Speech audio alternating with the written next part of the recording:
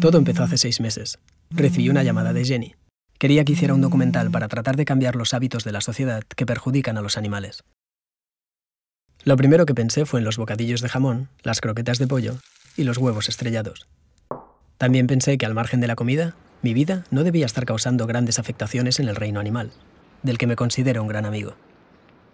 Pero Jenny me contó que en un día normal duermo sobre cojines de plumas de oca, me ducho con productos testados en ratones, me visto con lana de oveja, me calzo piel de vaca y todavía no he salido de casa.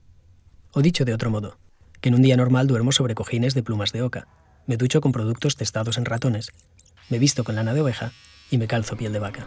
Así que aquí estaba yo, revisando las primeras entrevistas que había empezado a filmar para hacer un documental que cambiaría los hábitos de toda la sociedad. The uh, United Nations Food and Agriculture Organization has said that the livestock industry produces more greenhouse gases than the entire transport industry. Donde comen 10 personas con dieta vegetariana o cuasi vegetariana, apenas comen una o dos con una dieta muy, muy carnívora, ¿no? This costs us nothing. It's just that we, sh we shouldn't use animals. We just have to leave to cause suffering. Parecía sencillo, pero había un problema, que yo no estaba comprometido con la causa.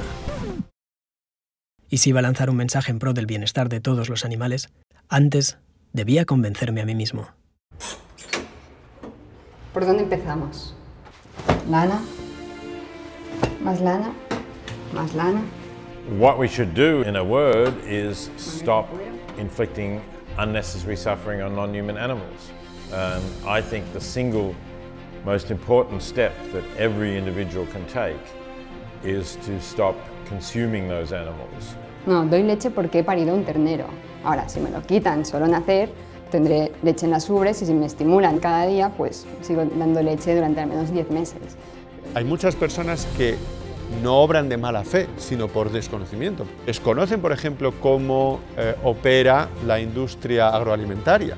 Se nos oculta información, está clarísimo. Las industrias que explotan los animales no quieren que, que los veas. En Cataluña hay más cerdos que personas. ¿Tú has visto alguna vez un cerdo? No, y hay más cerdos que personas. Ya están bien cerraditos en sus naves industriales que no tienen ni ventanas. Las ventanas que tienen están cerradas. No les interesa que se sepa.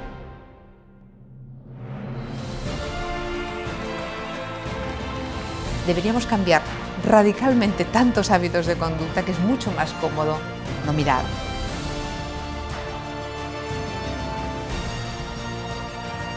Las premisas morales ya las teníamos claras. Lo que nos faltaba era información.